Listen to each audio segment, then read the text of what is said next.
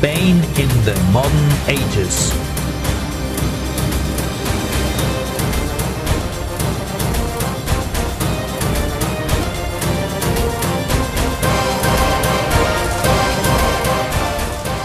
Spain in the modern ages.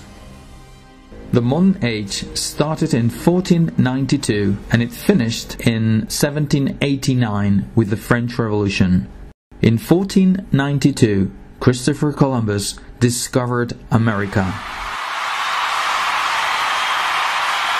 This year is considered to be the beginning of the modern age. It was a time of discovery when people's ideas about the world changed. Everything changed. We had a much better world compared with the Middle Ages.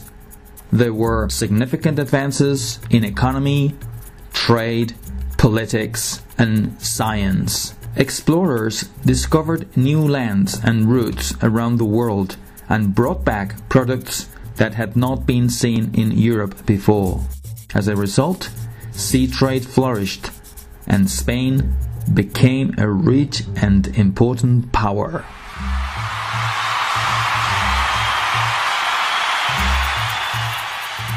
The discovery of America initiated the exchange of plants and animals between the continents.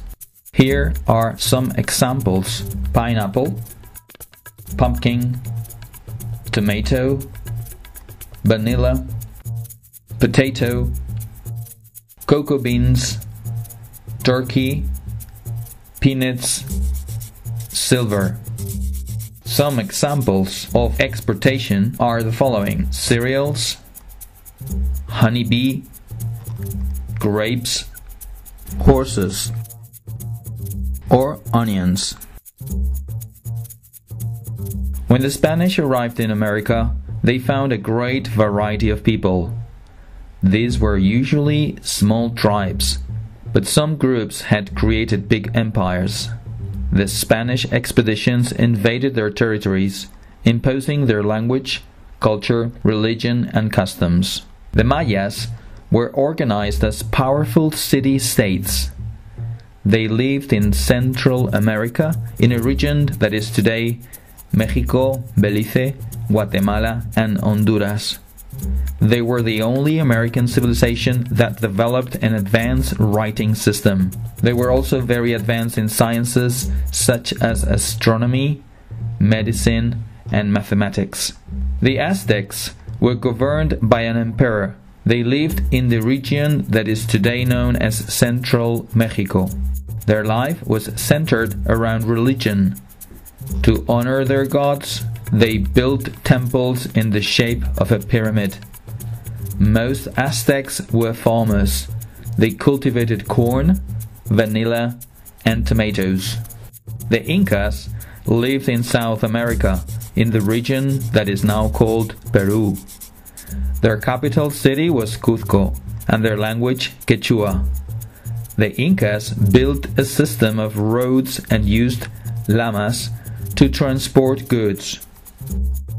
Isabel I of Castilla and Fernando II of Aragon received the title of Catholic monarchs from the Pope after conquering the Kingdom of Granada.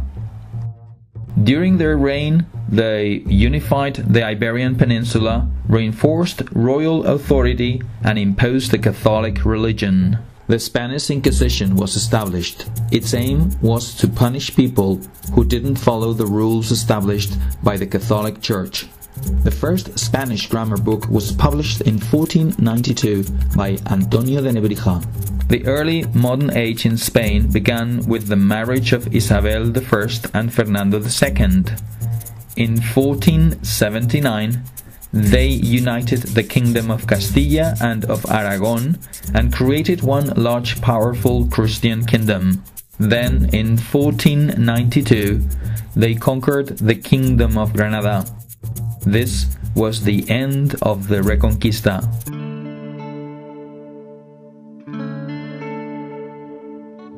Christopher Columbus was an Italian navigator and explorer.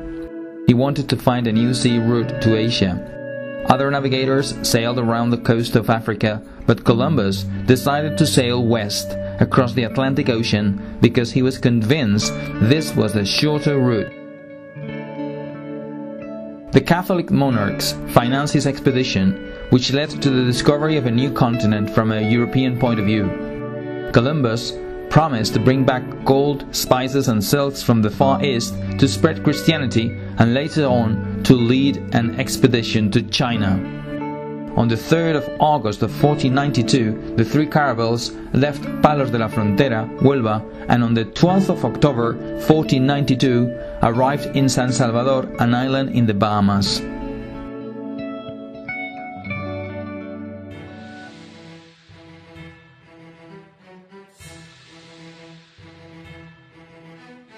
Carlos I became king in 1516.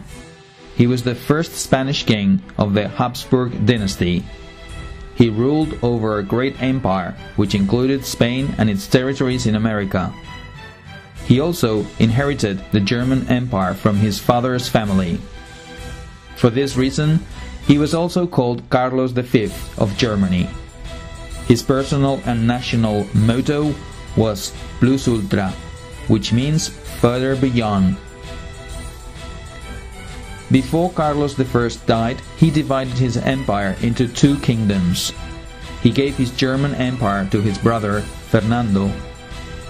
His son Felipe II inherited his Spanish empire, which included Spain and the Netherlands. Felipe II became king in 1556. In 1561, he established his permanent residence in Madrid. The Spanish Empire expanded under his reign, especially in America. In 1580, Felipe II conquered Portugal, which meant he controlled all of the Iberian Peninsula and also ruled over the Portuguese territories in America, Africa, and Asia. The reign of Felipe II was also a period of wars and conflicts. Felipe II's armies won many important battles on land and at sea. In 1571, in the Battle of Lepanto, the Spanish fleet stopped the Turkish Empire from taking control of the Mediterranean Sea. However, these wars were very expensive, so the king had to use gold and silver brought from America to pay for them. The price of some products increased and the Spanish population became poorer. Spain in the modern ages.